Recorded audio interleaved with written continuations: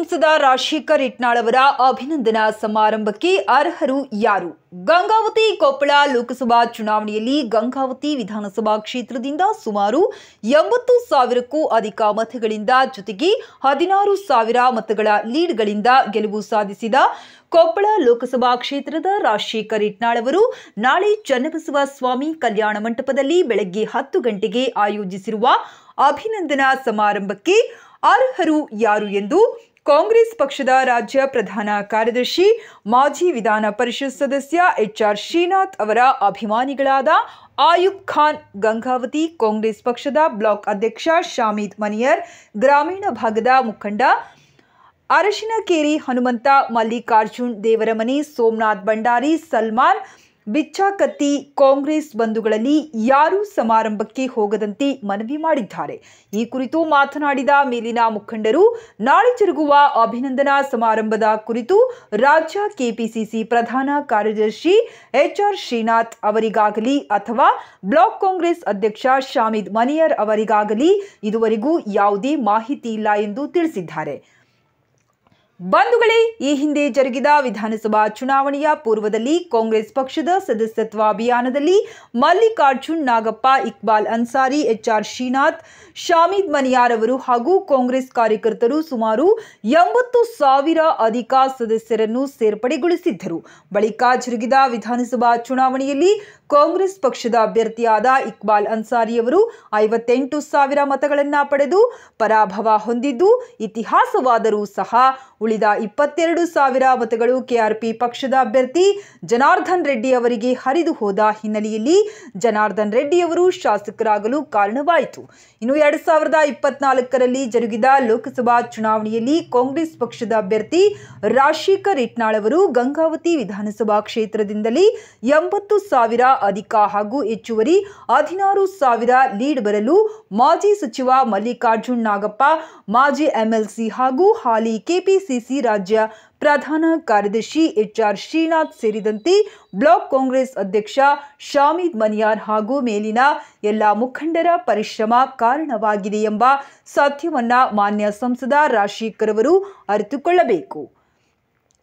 ಸಂಸದರ ಗೆಲುವಿನಲ್ಲಿ ಇಕ್ಬಾಲ್ ಅನ್ಸಾರಿ ಅವರ ಪಾತ್ರ ಏನೂ ಇಲ್ಲ ಎಂದು ಛೇಡಿಸಿದರು. ಅಂದರೆ ಐವತ್ತೆಂಟು ಸಾವಿರ ಮತಗಳನ್ನು ಪಡೆದ ಇಕ್ಬಲ್ ಅನ್ಸಾರಿ ಅವರು ಹಾಗೂ ರಾಜಶೇಖರ್ ಇಟ್ನಾ ಪಡೆದ ಎಂಬತ್ನಾಲ್ಕು ಸಾವಿರ ಮತಗಳನ್ನು ಗಮನಿಸಿದರೆ ಹೆಚ್ಚುವರಿ ಇಪ್ಪತ್ತಾರು ಸಾವಿರ ಮತಗಳು ಕಾಂಗ್ರೆಸ್ ಪಕ್ಷದ ಮತಗಳಾಗಿವೆ ಎಂದು ಪುನರ್ ಉಚ್ಚರಿಸಿದರು ಈ ಹಿನ್ನೆಲೆಯಲ್ಲಿ ಬಂಧುಗಳೇ ನಾಳೆ ನಡೆಯುವ ಅಭಿನಂದನಾ ಸಮಾರಂಭಕ್ಕೆ ಯಾವುದೇ ಕಾರಣಕ್ಕೂ ಹೋಗದಂತೆ ತಮ್ಮ ಕಾಂಗ್ರೆಸ್ ಕಾರ್ಯಕರ್ತರಿಗೆ ಮನವಿ ಮಾಡಿದರು. ಬಹುತೇಕ ನಾಳೆ ನಡೆಯುವ ಕಾರ್ಯಕ್ರಮಕ್ಕೆ ಡಿಸಿಸಿ ಅಧ್ಯಕ್ಷ ಸೇರಿದಂತೆ ಜಿಲ್ಲಾ ಉಸ್ತುವಾರಿ ಸಚಿವರು ಸಹ ಗೈರಾಗುವ ಸಾಧ್ಯತೆ ಇದೆ ಎಂದು ಸ್ಪಷ್ಟಪಡಿಸಿದರು. ಎಲ್ಲರಿಗೂ ನಮಸ್ಕಾರ. ಗಂಗಾವತಿಯ ಸಮಸ್ತ ಕಾಂಗ್ರೆಸ್ಸಿನ ಎಲ್ಲ ಕಾರ್ಯಕರ್ತರಿಗೂ ನಾನು ಮನವಿ ಮಾಡ್ಕೊಳ್ಳೋದೇನೆಂದರೆ, ಬಂಧುಗಳೇ, ದಿನಾಂಕ ಇಪ್ಪತ್ತೇಳಕ್ಕೂ ಶನಿವಾರ ಏನು ಕಾರ್ಯಕ್ರಮ ನಡೀತಾ ಇದೆ ಚನ್ನಬಸವ ಸ್ವಾಮಿ ಕಲ್ಯಾಣ ಮಂಟಪದಲ್ಲಿ ಅಭಿನಂದನ ಕಾರ್ಯಕ್ರಮ ಅಂಥೇಳಿ. ಬಂಧುಗಳೇ, ಇವತ್ತು ನಾನು ನಿಮಗೆ ಹೇಳಕ್ಕೆ ಬಯಸ್ತೇನೆ, ಸನ್ಮಾನ್ಯ ರಾಜಶೇಖರ್ ಹಿಟ್ನಾಳ್ ಸಾಹೇಬ್ರನ್ನ ಏನು ಹದಿನಾರು ಸಾವಿರ ಗಂಗಾವತಿಯಲ್ಲಿ ನಾವು ಲೀಡ್ ಕೊಟ್ಟಿದ್ದೀವಿ. ಇದರಲ್ಲಿ ಎಲ್ಲ ಮುಖಂಡರ ಮತ್ತು ಎಲ್ಲ ಕಾರ್ಯಕರ್ತರ ಶ್ರಮ ಇದರಲ್ಲಿ ಇದೆ ಅಂತ ಹೇಳಿದರೆ ಬಹುಶಃ ತಪ್ಪಾಗಕ್ಕಿಲ್ಲ ಬಂಧುಗಳೇ. ಹಾಗಾಗಿ ಎಲ್ಲೋ ಎಲ್ಲರನ್ನ ವಿಶ್ವಾಸಕ್ಕೆ ತಗೊಂಡು ಈ ಕಾರ್ಯಕ್ರಮ ಮಾಡಬೇಕಾಗಿತ್ತು.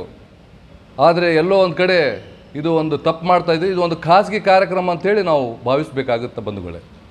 ಹಾಗಾಗಿ ಇವತ್ತು ಸಿರ್ನಾಥಣಿ ಅಭಿಮಾನಿ ಬಳಗ ಮತ್ತು ಬ್ಲಾಕ್ ಅಧ್ಯಕ್ಷರು ಶಾಮಿದ್ ಮನೆಯವರ ಅಭಿಮಾನಿ ಬಳಗ ಮತ್ತು ಮಲ್ಲಿಕಾರ್ಜುನ್ ಧಣಿ ಅಭಿಮಾನಿ ಬಳಗ ಮತ್ತು ಇನ್ನಷ್ಟು ನಮ್ಮ ಜೊತೆ ಏನು ಕೆಲಸ ಮಾಡಿದ್ದಾರೆ, ಆ ಮುಖಂಡರನ್ನು ನಾನು ಮನವಿ ಮಾಡ್ಕೊ, ಆ ಅಭಿಮಾನಿಗಳು ದಯ ಮಾಡಿ ಆ ಕಾರ್ಯಕ್ರಮಕ್ಕೆ ತಾವು ಹೋಗಬೇಡಿ. ಆ ಕಾರ್ಯಕ್ರಮ ಒಂದು ಖಾಸಗಿ ಕಾರ್ಯಕ್ರಮ ಅಂಥೇಳಿ ನಾನು ಭಾವಿಸಬೇಕಾಗುತ್ತೆ.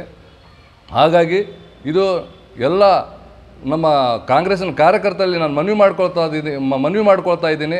ದಯಮಾಡಿ ಆ ಕಾರ್ಯಕ್ರಮಕ್ಕೆ ತಾವು ಹೋಗಕ್ಕೆ ಹೋಗಬೇಡಿ ಅನ್ನೋಂತ ನಾನು ಈ ಮೂಲಕ ತಮ್ಮಲ್ಲಿ ಹೇಳ್ಕೊಳ್ತಾ ಹೇಳ್ತಾ ಸಮಸ್ತ ಗಂಗಾವತಿ ವಿಧಾನಸಭಾ ಕ್ಷೇತ್ರದ ಕಾಂಗ್ರೆಸ್ ಪಕ್ಷದ ಎಲ್ಲ ಕಾರ್ಯಕರ್ತರು ಮತ್ತು ಆ ಪಕ್ಷದ ಹಿರಿಯ ಮುಖಂಡರಿಗೆ ಇವತ್ತಿನ ದಿನ ಈ ಪತ್ರಿಕಾಗೋಷ್ಠಿ ಮುಖಾಂತರ ತಮ್ಮಗಳಿಗೆ ತಿಳಿಸೋದೇನೆಂದರೆ, ನಾಳೆ ಏನು ಇಪ್ಪತ್ತೇಳು ಏಳು ಎರಡು ಸಾವಿರದ ಇಪ್ಪತ್ತ್ನಾಲ್ಕರಂದು ಕಾಂಗ್ರೆಸ್ ಪಕ್ಷ ವತಿಯಿಂದ ಏನು ಚಂದ್ರಬಸವ ತಾತನ ಕಲ್ಯಾಣ ಮಂಟಪದಲ್ಲಿ ಅಭಿನಂದನಾ ಸಮಾರಂಭವನ್ನು ಕಾರ್ಯಕ್ರಮವನ್ನು ನಡೆಸ್ತಾ ಇದ್ದಾರೆ. ಆ ಕಾರ್ಯಕ್ರಮದಲ್ಲಿ ನಮ್ಮ ನಾಯಕರುಗಳಾದ ಎಚ್ ಆರ್ ಶ್ರೀನಾಥ್ ದಣಿಯವರು ಲೋಕಸಭೆ ಚುನಾವಣೆ ಮುಂದೆ ಬಂದಂಥ ನಂತರ ಅವರಿಗೆ ಕರ್ನಾಟಕ ಪ್ರದೇಶ ಕಾರ್ಯದರ್ಶಿಯನ್ನಾಗಿ ನೇಮಕ ಮಾಡಿದ ಮೇಲೆ ಗಂಗಾವತಿ ವಿಧಾನಸಭಾ ಕ್ಷೇತ್ರದಲ್ಲಿ ಹಗರುಗಳು ಶ್ರಮಿಸಿ ಲೋಕಸಭೆ ಚುನಾವಣೆ ಅಭ್ಯರ್ಥಿ ರಾಶಿ ಅವರಿಗೆ ಬಹುಮತದಿಂದ ಆರಿಸಿ ತರದಲ್ಲಿ ಅವರ ಮುಖ್ಯ ಪಾತ್ರ ಇದ್ದು, ಅವರಿಗೆ ಆ ಕಾರ್ಯ, ನಾಳೆ ನಡೆಯುವ ಕಾರ್ಯಕ್ರಮದಲ್ಲಿ ನಮ್ಮ ನಾಯಕರಿಗೆ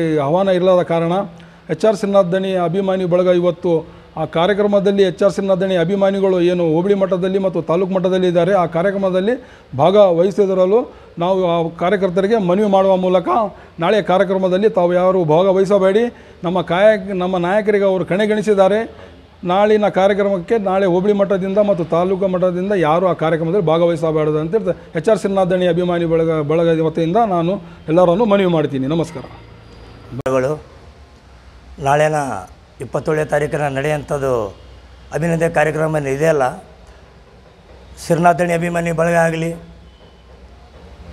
ಮಲ್ಲಿಕಾರ್ಜುನ ನಾಗಪದ್ದಣ್ಣವ್ರ ಬಳಗ ಆಗಲಿ ಶಾಮೀದ್ ಮನೆಯವ್ರ ಬ್ಲಾಕ್ ಅಧ್ಯಕ್ಷ ಶಾಮೀದ್ ಮನೆಯವ್ರ ಬಳಗ ಆಗಲಿ, ಆ ಕಾರ್ಯಕ್ರಮಕ್ಕೆ ಖಾಸಗಿ ಕಾರ್ಯಕ್ರಮ ಅದು. ಆ ಕಾರ್ಯಕ್ರಮಕ್ಕೆ ದಯವಿಟ್ಟು ಯಾರೂ ಹೋಗೋಗಬೇಡಿ ನಮಸ್ಕಾರ.